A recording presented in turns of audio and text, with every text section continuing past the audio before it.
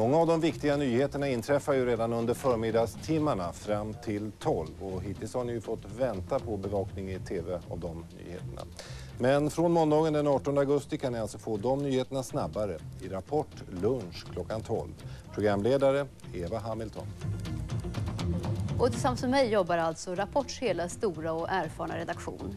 Liksom alla nyhetsredaktionerna som Sveriges Television är utspridda över hela Sverige. Utrikeskorrarna i världen står beredda, liksom TV-sporten. Och klockan 12 när vi börjar sända Rapport lunch så har ju ekonomin och börsen nått halvvägs. Så då kommer A-ekonomi ge senaste nytt från ekonomins värld. Och sist i sändningen kommer jag varje dag att göra en längre intervju med en av dagens mest intressanta personer. Och därtill har vi vädret och dagligen John Pohlman. Ja, just det. Både väder och oväder, såväl här hemma som runt om i världen.